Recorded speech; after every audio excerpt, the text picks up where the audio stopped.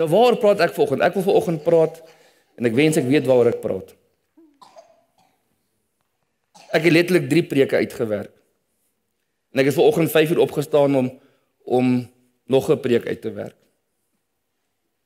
Want ons moet eintlik vanoggend praat oor Pinksterfees en oor die uitstorting van die Heilige Gees. So ek wil ek wil ek wil daarbey aansluiting vind vandag.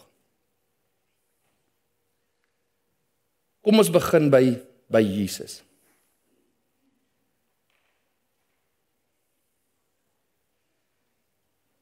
Die fees, die loofhuttefees. Die loofhuttefees is 'n fees wat gebeur aan die einde van die oesproses. Nie as die oes klaar ingesamel is nie, maar as die oes klaar gemaal is, die druiwe is gepars en al die al die al die rou saad en en en en korrels en goeders is verwerk tot by 'n plek waar die mense kan gebruik. Dan het die Jode bymekaar kom vir die hittefees of ook genoem die loofhittefees. Nou die loofhittefees word in die Bybel 'n paar keer genoem. In Levitikus 23 vers 34, dis nie op daai preek nie, want jy kan nou eers ontspan. Ek gee jou af vir 'n oomblik. Okay. Maak net so, want jy het nou begin soek daar nê. Nee. Ja nee, ek sien dit die man scan daarson. so, dis 'n gratis oomblik vir jou Wynand. Ek sien jou nou nou oproep, okay. Levitikus 23 vers 34 staan daar: Op die 15de dag van hierdie 7de maand is dit 7 dae lank die hittefees van die Here. Op die 15de dag van die 7de maand is dit vir 7 dae lank die hittefees van die Here. So wat is 15 plus 7? Waar kom mens uit? OK nee, as jy die 15de dag begin, op watter dag eindig jy?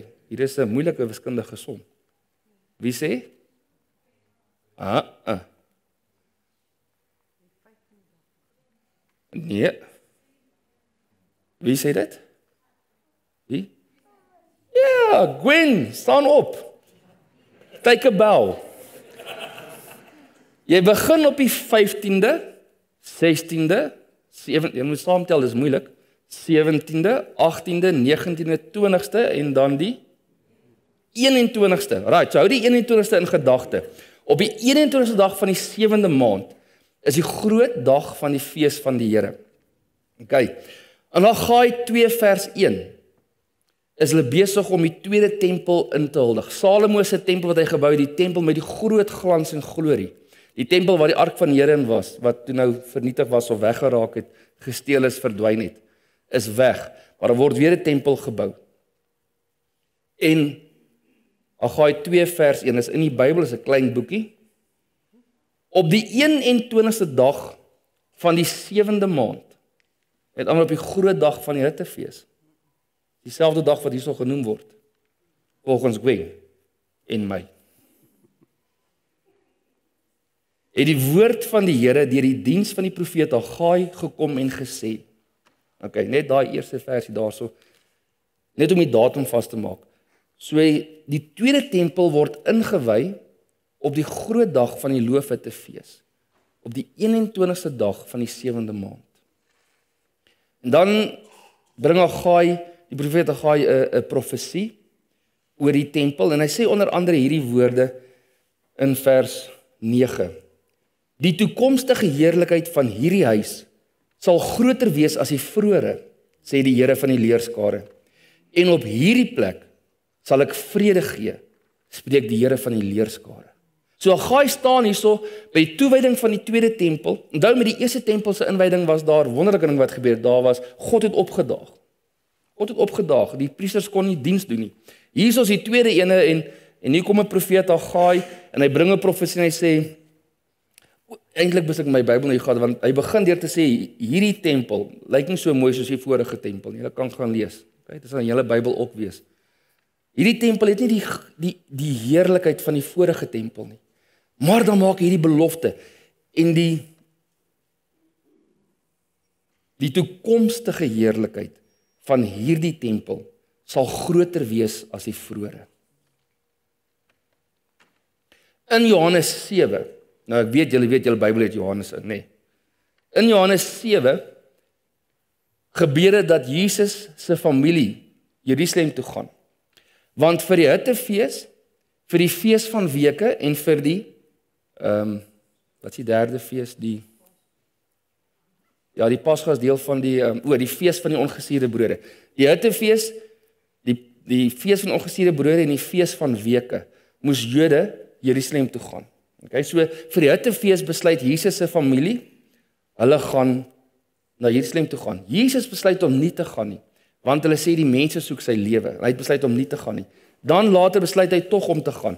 Johannes 7 vers 2. En die fees van die Jode, die Hittefees was naby.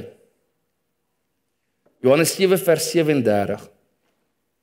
En op die laaste dag, die groot dag van die fees, met ander woorde die 21ste dag van die 7de maand, het Jesus gestaan en uitgeroep en gesê: As iemand dors het, laat hom na my toe kom en drink. En hy wat in my glo, soos die skrif sê, strome van lewende water sal uit sy binneste vloei.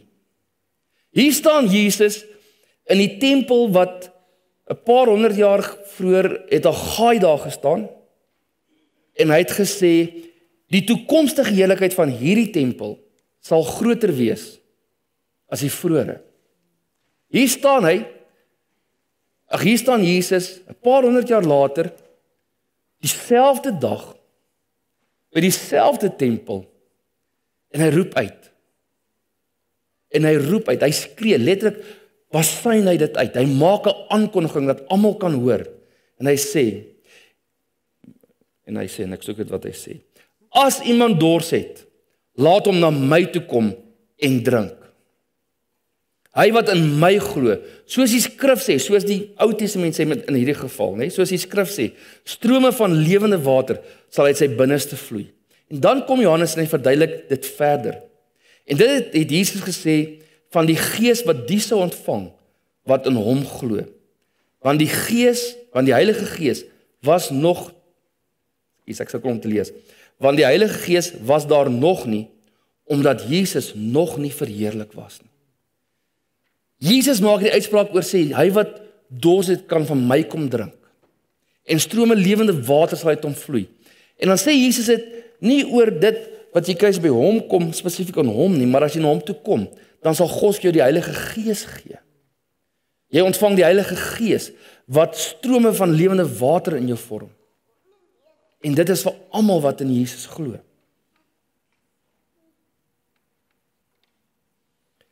Dit het hy gesê oor die Gees wat almal sal ontvang wat in hom glo. Maar die Heilige Gees was nog nie daar nie omdat Jesus nog nie verheerlik was nie. Wanneer het Jesus verheerlik geword?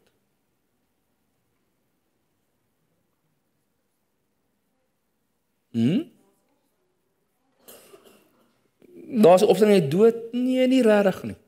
Wanneer het Jesus verheerlik geword? Toe hy weer sy ereplek geneem het in die hemel. Toe Jesus opvaar op die berg en hy vaar op hemel toe, Toe gaan neem hy sy ereplek in besit. Toe gaan neem hy weer die plek in besit wat God die Vader vir hom voorberei het en hy word weer verheerlik en die belofte van die Heilige Gees word 10 dae later vervul. Die Heilige Gees kon nie kom in sy volheid nie want Jesus was nog besig met sy dienswerk gewees. Jesus was nog besig om die oes voor te berei.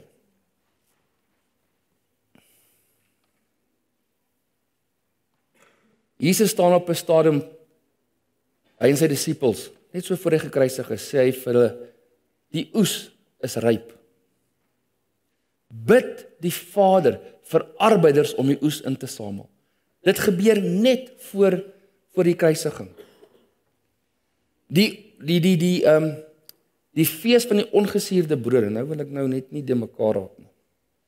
Gebeur aan die begin van die oesseisoen.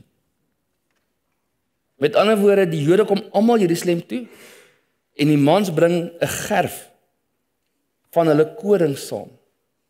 Of jy nou nou verduidelik van dit. Hulle trek Jerusalem toe vir die fees van die ongesuurde brode. Deel van die fees van ongesuurde brode, brode is die Pasga. Dis deel van die van die fees. Die Vrydag word die lam geslag, die Pasga lam geslag en hulle hou Pasga saam. Dan is dit die Sabbat. Dan die dag na die Sabbat, die eerste dag van die week, die Sondag wat ons ken as Opstanding Sondag. Dan vat die Jode elke Jood vat 'n gerf, sy eerste gerf van sy land, 'n gerf met koring wat nou reg is om geoes te word. En hulle gaan tempel toe en hulle beweeg hierdie gerf voor God in die tempel voor God. 'n Beweegoffer, die eerste gerfoffer. Jesus word opgewek uit die dood of staan op uit die dood en Maria Magdalena verskyn aan hom en hy sê vir Maria Magdalena gaan sê vir my hy sê vir haar moenie aan my raak nie. Moenie aan my raak nie Maria want ek het nog nie opgegaan na my Vader nie. Gaan sê vir my broers om vir my te wag. Ek gaan na my Vader toe. En dan later die dag dan verskyn Jesus aan die disippels. Hier is die wonderlike ding. Jesus is die eerste gerf. Hy's die eerste gerf. Hy staan op uit die dood. Hy vaar op na die Vader toe en hy gaan beweeg voor God die Vader. En hy sê vir God die Vader, die oes is reg vir oes. Die saad is reg vir oes. Hy gaan beweeg voor God en God die Vader aanvaar Jesus die eerste gerf. Die eerste gerf. Jesus bring sy eie liggaam na God toe. Hemel, julle nee. Daar's nie 'n toevalligheid in die Bybel nie, man. Hæ? Ek wil vir jou jy moet Woensdag kom dat ek in die goed aan mekaar kan sit tussen die loofete fees, tussen die tussen die Pasgafees. Hierdie dinge wat gebeur, wat jy net sê Jesus het God die Vader en Jesus het met 'n plan. Die Jode moes verstaan het. Daar's 'n rede hoekom Paulus teen die prikkels geskop het, want Paulus het dinge gesien in die Bybel wat hom moes oortuig het van Jesus. Dit het net te veel in mekaar gesteek, maar ek verloor my trend. Ehm um, ja. Die eerste gerfoffer, Jesus word self die eerste gerf wat voor God beweeg. Dan kom Jesus aarde toe en en en en ehm um, Lukas sê vir Theophilus, hy sê in in 40 dae oor 'n tyd van 40 dae het Jesus op verskillende plekke aan mense verskyn om te wys hy leef. Hy het saam met mense geëet. Hy het saam met mense gesels, hy het saam met mense beweeg. Hy was lewendig geweest. Daar's geen twyfel daaroor nie. Dan kom kom ehm um, Lukas by die boek Handelinge. OK. Weet nie hoe ver as ek nou besig is, is jy nog met my? Nie is jy nog reg? Handelinge 1 vers 4 tot 9. En toe hy nog met hulle saam was, het hulle bevel gegee om nie van Jerusalem weg te gaan nie, maar om te wag op die belofte van die Vader wat julle van my gehoor het, het hy gesê. Toe hy nog met hulle was, het hy vir hulle gesê om te gaan wag in Jerusalem om nie weg te gaan nie, om nie uitmekaar te spat nie, want daar was 'n goeie kans vir die disippels om terug te gaan na waar hulle ook al vandaan gekom het om net weg te spat. En Jesus sê vir hulle, hoor hierso, moenie weggaan nie. Gaan wag in Jerusalem vir die belofte van die Vader. Ehm um, Want Johannes het wel met water gedoop, maar julle sal met die Heilige Gees gedoop word nie lank na hierdie dae nie. Die wat bymekaar gekom het, vra hom toe en sê: "Here, gaan U in hierdie tyd die koninkryk van Israel weer oprig?" Oh my word. Hier sien kom disippels 3 jaar saam met Jesus. Hy preek oor die koninkryk van God. Hy sterf, hy staan op. Hy verskyn, hy verdwyn, hy verskyn, hy verdwyn, hy verskyn. Hulle kom bymekaar En hulle vra vir hom hierdie vraag: Gaan jy nou die koninkryk oprig? Want broers en susters, die disippels wil nog steeds deel van sy koninkryk se regspan wees. Want hulle het so lekker beklei oor wie gaan wie gaan die septer swaai onder Jesus? Wie gaan die 2IB wees en wie gaan beheer van die beursie wees? En wie gaan die wette gee en wie gaan dit doen en wie gaan want die disippels het nog steeds vasgeglo Jesus gaan nou Israel vrymaak van Romeinse uh uh um uh um heerskappy, dank julle kan saampreek, ek waardeer dit, van Romeinse heerskappy. En Israel gaan nou bevry word en en Israel gaan in 'n nuwe dimensie ingaan, vry van die Romeinse ryk en hulle gaan deel van die leierskap wees. Ek dink ek dink hulle het 'n puncture in Jesus se wiele gesit daarso. Ek moet vir jou sê as ek nou Jesus was, nê, nee, en ek het my hart uitgestort en ek het vir julle geleer en ek het so mooi verduidelik en ek het gesterf en ek het opgestaan terwyl hulle van die koninkryk van God en jy kom sê vir my hoor hoe gaan ons gaan ons Israel nou herstel. Dit dit is net om van hè Tyron? Ai ai ai. In ieder geval Jesus antwoord hierdie vraag hy sê dit kom julle nie toe om die tye of geleenthede te weet wat die Vader deur sy eie mag bepaal het nie. Tye en geleenthede wat die Vader deur sy eie mag bepaal het nie. Ouens en ek wil vir julle sê daar is 'n daar is 'n definitiewe tyd en geleentheid deur God bepaal. Daar was 'n rede hoekom die fees van die van die weke op 'n sekere tyd was. Daar was 'n rede hoekom die Pasga op 'n sekere tyd gehou is. Daar's 'n rede hoekom die die die die ehm die uh ehm um, ongesiede fees op 'n sekere tyd gevier was. Die tyd wat nou nader kom. OK, toe ons nou daarby kom. Maar julle sal krag ontvang wanneer die Heilige Gees oor julle kom en julle sal my getuies wees in Jerusalem, sowel as in die hele Judea en Samaria en tot aan die uiterstes van die aarde. En nadat Jesus dit gesê het, is hy opgeneem terwyl hulle dit sien en 'n wolk het hom voor hulle oë weggeneem en 'n wolk het hom voor hulle oë weggeneem.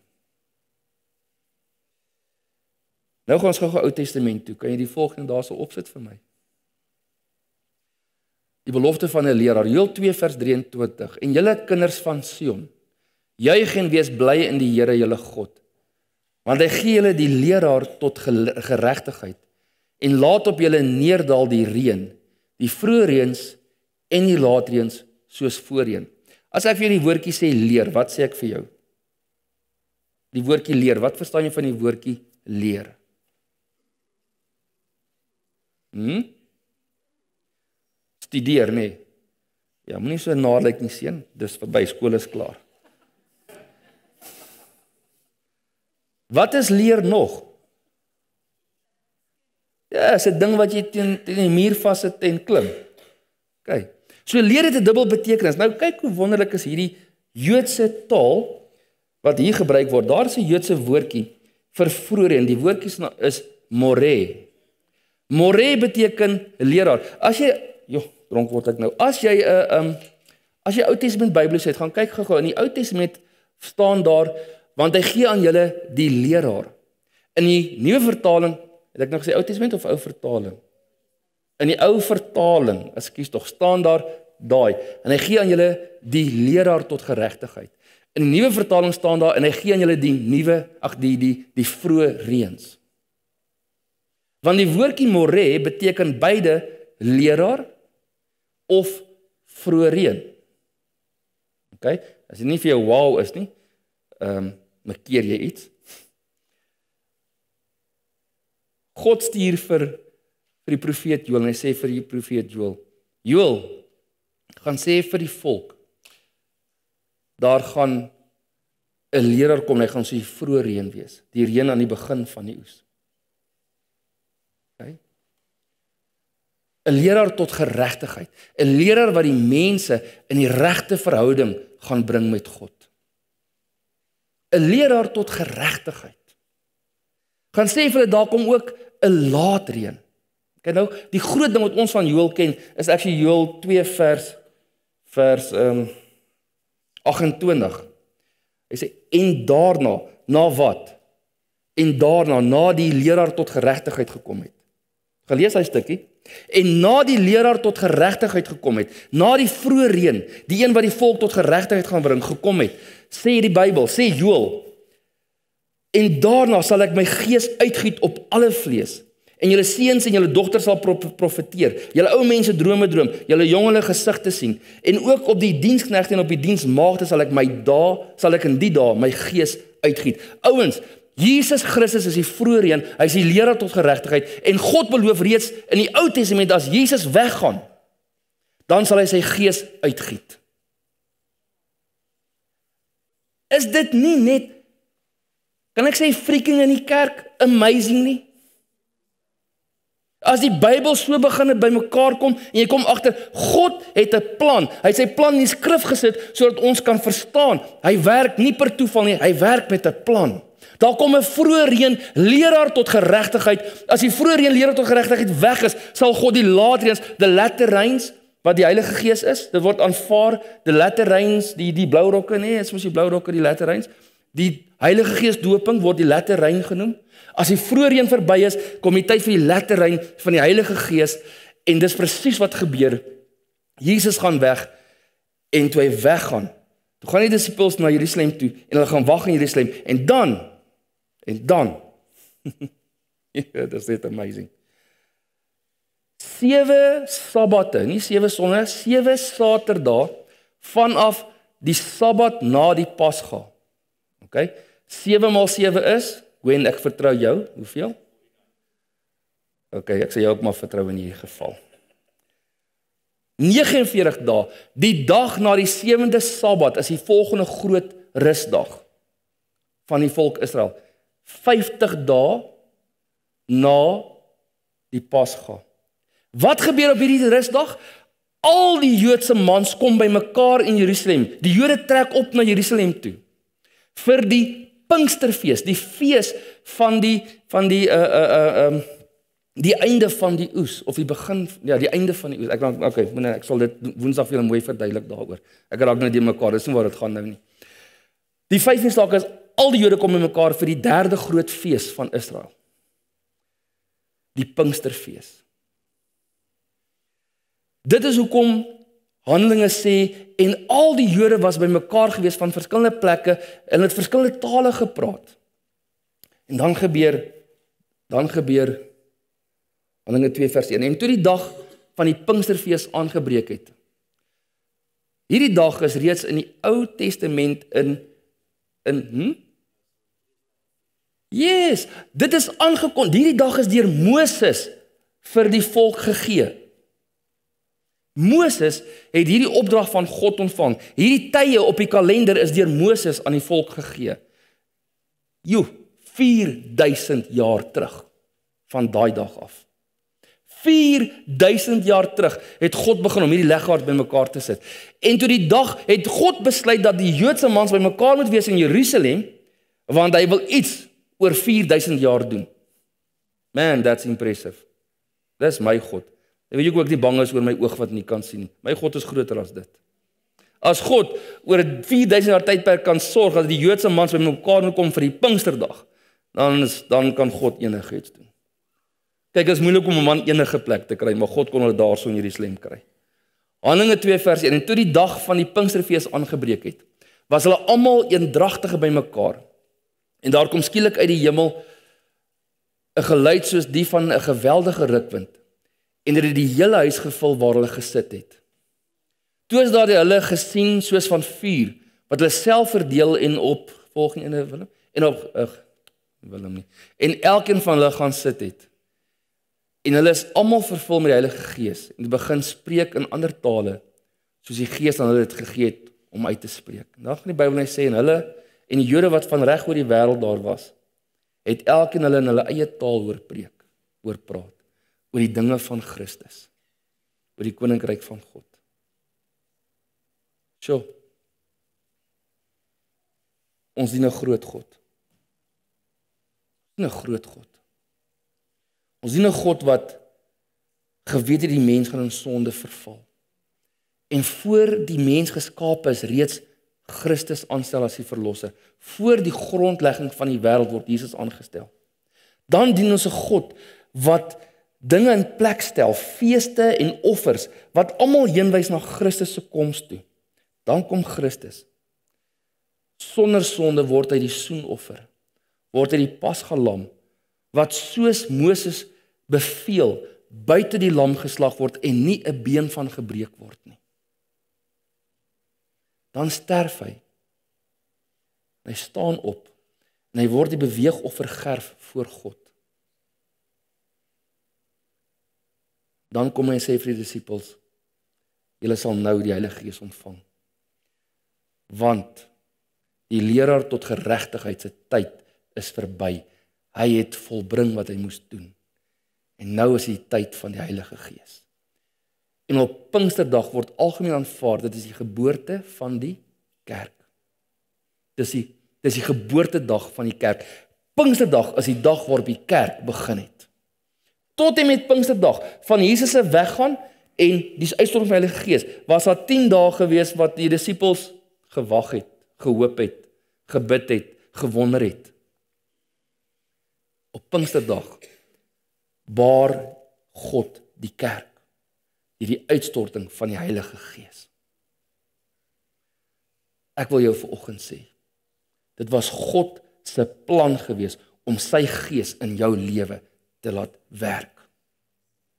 Dit was God se plan. Dit was die Vader se plan gewees om ons nie wees te los nie, om ons nie afhanklik uh, ja afhanklik te los nie, maar om sy gees vir ons te gee. Daar is 'n rede vir Pinksterdag. Dis sodat ons die gees van God in volheid kan ontvang.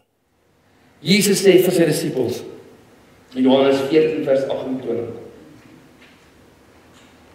Maar die trooster die Heilige Gees wat die Vader in my naam sal stuur.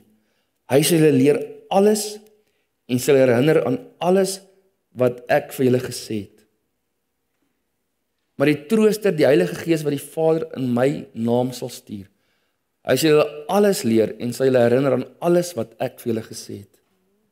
Parakletos is die woord vir trooster. En eintlik as jy as jy nou Grieks gelees het daarsoom kon jy eintlik kies wat daar staan. Want Parakletos is nie net 'n um, trooster nie. As jy aangekla was in 'n Romeinse hof of in 'n Joodse hof, dan jy die voorreg gehad om 'n 'n stand-by me te kry, 'n Parakletos te kry. Ons noem hulle vandag 'n Ek noem hulle skelm, maar okay, ander mense noem hulle prokureur. Ek spot sommer net, spot sommer net nou, nou, nou maak 'n grappie. 'n Prokureur. 'n Prokureur is iemand wat die wette ken, wat jou ken, wat jou situasie ken, wat reg by jou kom staan en as jy nie kan praat nie, namens jou praat, die regsaak vir jou behartig. Dis die een kant van Parakletos. Aan die ander kant is Parakletos ook counsel 'n consoler, consoler. Iemand wat vertroos. Iemand wat wat vir jou die tissuetjie gee en sê dit's alright boetie, dis alright sussie. God is in beheer. Het jy daai tissuetjie nodig gehad? Ja. Praat nou dag. Praat ons oor en die ouens sê dis dan so vervlaks onregverdig as jy jou hele lewe God gedien het. Ehm um, en jy sterf as 'n Christen en 'n ander ou wat sy hele lewe lank goddeloos geleef het kom reg voor die einde van sy lewe tot bekering en dan gaan hy dood en hy gaan hemel toe. En so 'n uh, effense van heilige woede oorval my. En ek moes ek so om verskoning vra omdat ek so erg te kere gegaan het want ek moet vir jou sê nee ouens jy het vergeet hoe groot dit is om in die wêreld te wees as jy dink dis lekker om as heiden te leef en dan deur genade aan die einde van jou lewe gered te word. Ek het die voorreg om saam met God se Gees elke dag te kan stap. Ek het die voorreg om die vertroosting en die counselling en die genade van saam met God wees en die vrede en die liefde en die krag van God te ervaar in elke situasie van my lewe. 'n Dokter kan vir my sê, "Hoorie, sal jy gaan blind wees in hierdie oog? Ek het vir jou geen goeie nuus nie." Ek kan vir hom sê, "Ek gee nie om nie. Ek het God." Sy woorde is ek wil vir ek wens ek vir jou goeie nuus. Ek het nie goeie nuus nodig nie. Die goeie nuus is in my hart. Die goeie nuus is Jesus is in my. Jesus se gees is in my. Ek en God is een. Ek het vrye toegang tot die troonkamers van God deur die Heilige Gees, deur die bloed van Jesus Christus en ek en God kan met mekaar kommunikeer. Dank die Here, ek hoef nie te leef op hierdie aarde sonder my God nie. Wie die mens wat sukkel dag na dag na dag na dag sonder die vertroosting van God se gees en die lering van God se woord. Dank die Here om te kan sê as 'n kind van die Here en die Heilige Gees te kan hê. Vriende, broers en susters, geliefdes, Maak jou ore oop vir God se gees. Maak jou ore oop vir God se gees. Begin luister na die stem van die Here.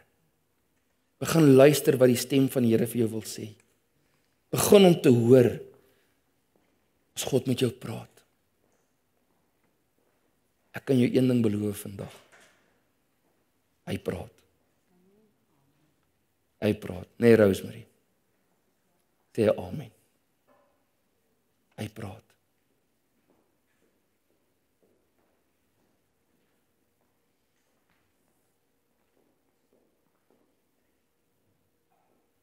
Pinksterdag het gekom om te bly. Jesus het gekom om te gaan. Die Heilige Gees het gekom om te bly. Dit was van die begin af gesê daar gaan 'n Messias kom en hy gaan. Jesus sê my tyd is verstreke. Dit word nie van die Heilige Gees gesê nie. Die Heilige Gees is hierso om te bly. Hy is hierso om in ons te bly, om ons te lei, te vertroos, te bemoedig, te versterk. Gemeente, vriende, leef saam met God se Gees. Verwag sy inspraak in jou lewe. Verwag sy inspraak in jou lewe. Ek wil vanoggend vir ons 'n gebed doen. Ek bid dat die Here vir jou sal help om geopende ore te hê. Is daar iemand hierso vanoggend wat nog nie wat twyfel of hulle met die gees van God gevul is? Kan ek vir jou sê vanoggend as jy 'n kind van die Here word, dan stuur God sy gees in jou. Jesus sê hulle wat in my glo, sal strome van lewende water ontvang. Jy as kind van die Here het die Heilige Gees in jou.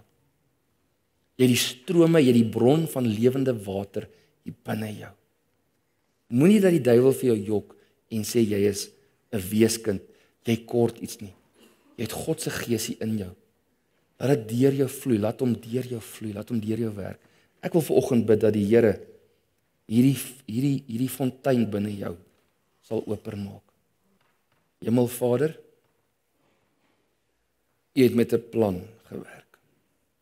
U werk steeds met 'n plan. En Jesus, het beloof vir hulle wat in my glo, hulle wat na my toe kom, hulle sal strome van lewende water ervaar.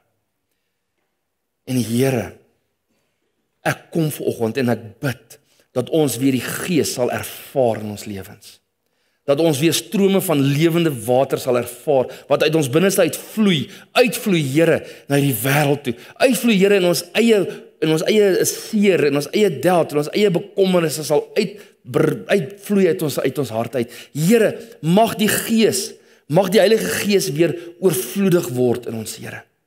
Mag ons saam met die Heilige Gees funksioneer. Mag ons deur die Heilige Gees funksioneer. Mag dit ons lewens brood word, ons lewens water word, Here. Mag ons en die Heilige Gees een wees. Here, ek wil vir oggend bid dat U o Gees van God ons sal leer.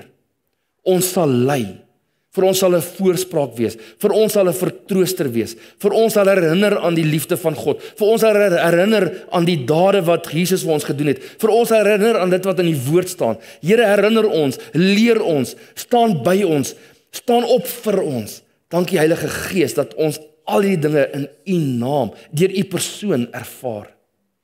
Dankie Heilige Gees dat U dat U ons ver oggend kom verbind met God die Vader met Jesus Christus. Dankie Jesus dat U beloof U los ons nie as weeskinders nie. U stuur die Gees en dankie dat ons ver oggend die Gees van God het. As hierdie waarborg, as hierdie onderpand van ons kunskap. Ons dankie Here en ek wil bid dat dit 'n realiteit sal word in elkeen van ons lewe. Bid dit nou in Jesus se naam.